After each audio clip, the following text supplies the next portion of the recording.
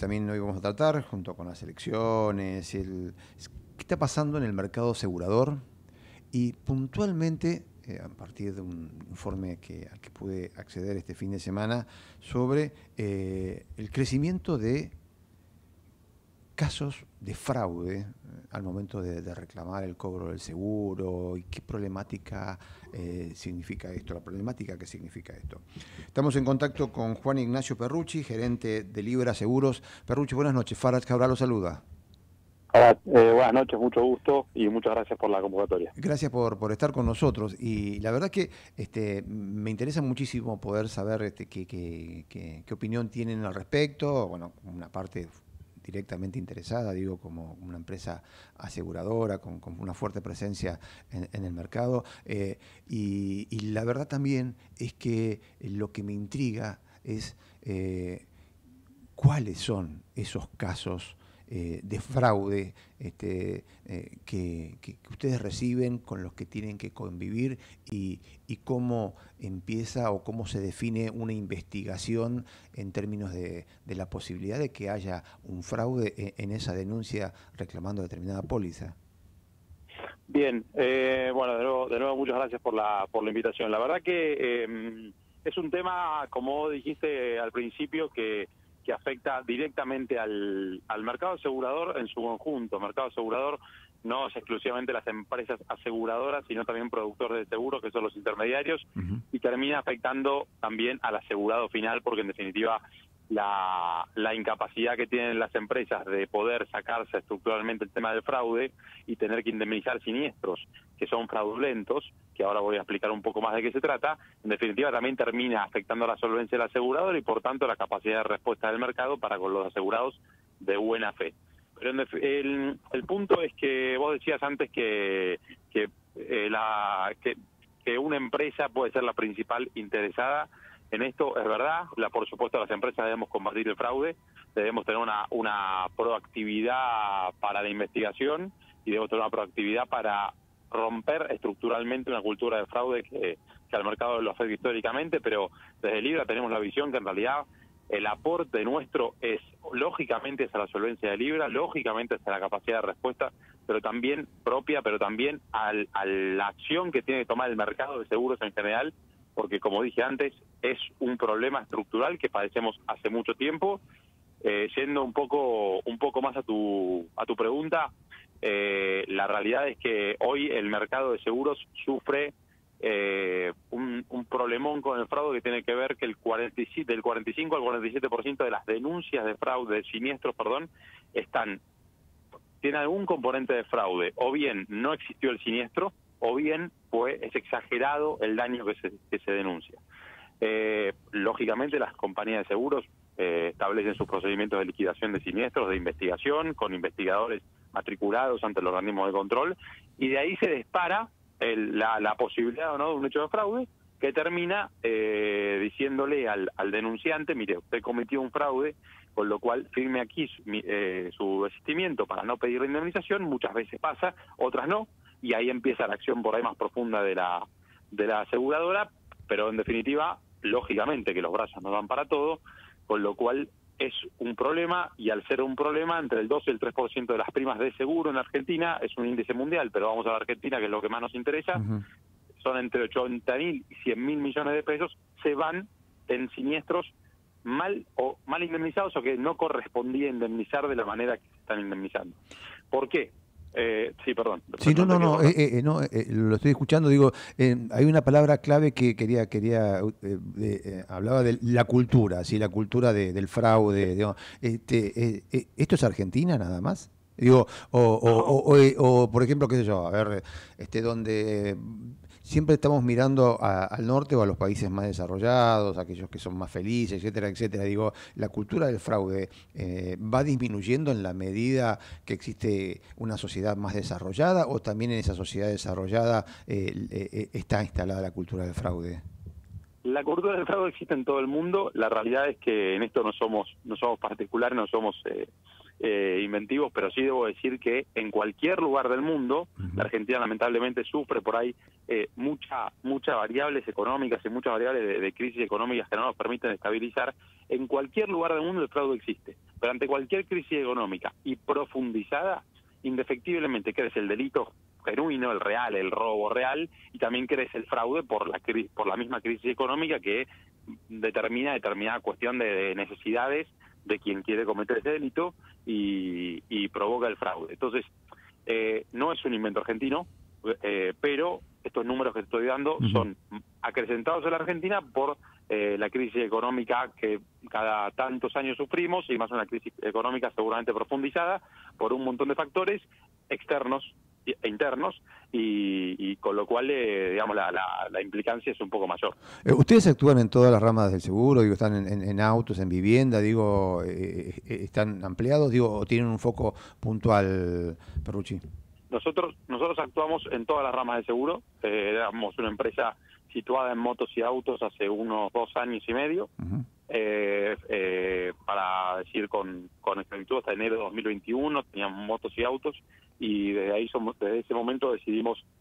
especializarnos o profundizar la especialización de la compañía en 18 ramos más, que son estos que vos nombrás, hogar, incendio, comercio eh, y demás. Pero bueno, uno por ahí se para en el lugar del fraude, se para desde autos, porque automotores, el ramo en todo el mercado es el 50% de la prima del mercado y son, por, por lo tanto, los hechos más eh, detectados y los hechos más eh, que las compañías deberíamos pagar, ¿no? Sí, eh, eh, quería ir a eso fundamentalmente. Bueno, eh, ustedes donde tienen más experiencia y más desarrollados en, en, autos y motos y por lo tanto también donde más fraude o por lo menos donde están más alerta a esto es en, en, ese sector, digo. Pero en, lo que es seguro del hogar también es, alto el nivel de fraude o, por lo menos de, intento de, casos. no, no es tan alto en términos de cantidad de fraude eh, existe, pero mucho menos que ese 47% que te di. Sí, te puedo decir que,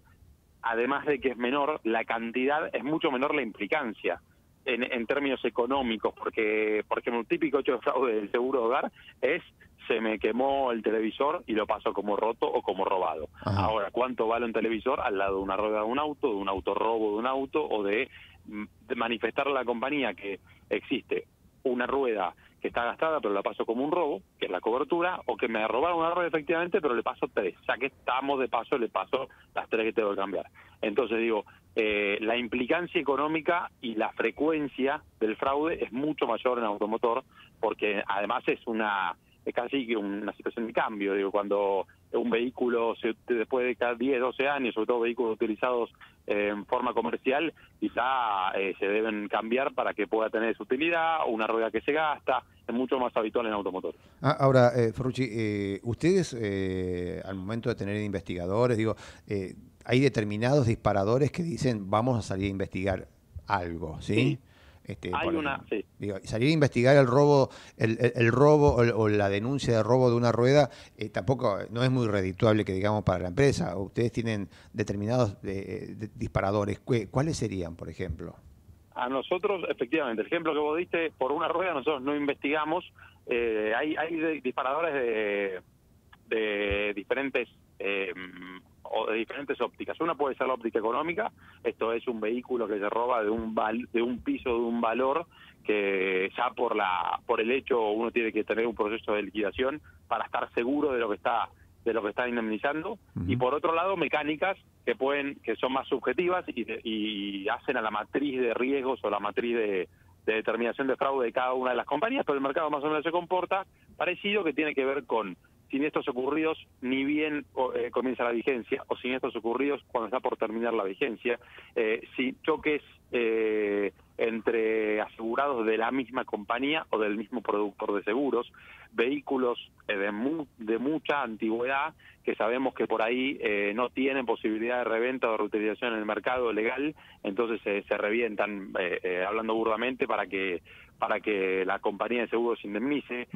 son esos, son esos eh, cuatro o cinco puntos que son los más típicos, ¿no? Sí, te puedo decir que cuando ya debemos, así como te digo, una rueda no, cuando ya vemos que el siniestro implica dos o tres ruedas, ya es un hecho de investigación, porque es, es, mucho más extraño que eso pase. Bueno, en una época, y yo recuerdo allá lejos y hace tiempo, eh, eh, cuando había que después de tanto tiempo de asegurado, con el mismo este, asegurador o por lo menos con el corredor, una de las cosas, o uno por lo menos, una de las cosas eh, instaladas en términos sociales que uno escuchaba como este, joven en, su casa, cuando lo comentaba con mi viejo, porque tenía este, una empresita con tres, cuatro autos, era eh, un, un entendimiento con el seguro para corregir determinadas falencias mecánicas o de pintura del auto. Eso hoy se terminó, digo, hoy es este, el, vínculo del asegurador con el, con, el, con el asegurado, digo. Entonces, eh, esos atajos que hoy la, viveza porteña puede llegar a producir, este, ¿ustedes de qué forma lo pueden eh, cortar o, lo, pueden, lo pueden interrumpir? ¿Necesitan otras leyes? ¿Qué, qué, es lo que el sector asegurador necesita? hay muchas veces que, y, hablo desde el propio mercado, eh, hay muchas veces que el mercado deposita en reguladores o legisladores sus propias carencias. Yo creo que eh, el mercado no ha sabido atacar institucional y estructuralmente este problema, esto es, se quedó con la detección del caso, con el rechazo del siniestro, con la firma del desistimiento, vamos a suponer, pero no lleva a la justicia penal, porque en definitiva el fraude es un delito, eh, no lleva a la justicia penal estos casos, ha llevado uno aislado y cuando se era demasiado demostrada la, la asociación ilícita y ha llevado casos así, pero creo, y como libre estamos en ese camino, eh, atacar penalmente y atacar judicialmente desde la justicia penal a la persona que intenta cometer un delito es lo que debe hacer el mercado para empezar a dar vuelta esta cultura de la que hablábamos primero, esta cultura de vale todo, presento dos ruedas, me autorrobo el auto, me autodestruyo el auto, eh, que no es una viveza, sino que es un delito, y eso creo que culturalmente el mercado lo debe hacer. Eh, y no lo está haciendo, por lo menos históricamente. Del libro lo estamos empezando a hacer con muy buenos resultados. Nuestro primer eh, punto era la justicia va a recibir de parte de eh, una aseguradora, empresa, demandando a un individuo de a pie, va a recibir esto, va a decir, che, bancátela por ser empresa. No, la verdad sinceramente, en todos los casos que se están pudiendo avanzar, en todos, la justicia dijo acá hay delito, vamos a procesar a esta persona y estamos esperando nosotros las primeras sentencias definitivas. Ahora, por otro lado, siguiendo tu pregunta, de nuevo, esto es una acción que puede eh, tomar la, un asegurador en particular, Libra, ojalá que le empiece a tomar todo el mercado de seguros, porque es la manera del quiebre estructural y quiebre institucional. Ahora bien, si vos me preguntas a mí, te digo sí, la verdad que una un artículo de, la ley penal o del código penal que eh, determinen el fraude en seguros como un delito particular y le pongan una pena específica sería bárbaro y estamos trabajando para, para que eso pase. Obviamente tiene su diálogo institucional porque no depende del mercado, sino ya, como decía antes, ya depende o de los mismos reguladores o de legisladores, pero creo así como se puso el delito bancario, se puso el ciberdelito como delitos eh, particulares con su propia pena, creo que ayuda muchísimo, porque en definitiva, como dije al principio, este, esto no afecta exclusivamente al mercado a una aseguradora, afecta a los, personajes de buena fe, y la verdad que por qué los asegurados de buena fe, los productores de buena fe, las empresas de buena fe, se van a ver perjudicados por los fraudulentos. Entonces me parece que está, estaría buenísimo. Bien. Juan Ignacio Ferrucci, gerente de Libra Seguros, eh, en contacto con nosotros, mm, con punto de referencia, para poder empezar a entender un poquito eh, el tema de los fraudes en el seguro. Así que la, puerta está abierta y vamos a seguir eh, tratando el tema, Ferrucci. Bueno, muchísimas gracias, Ferrucci. Te mando un abrazo grande y buenas noches. Buenas noches.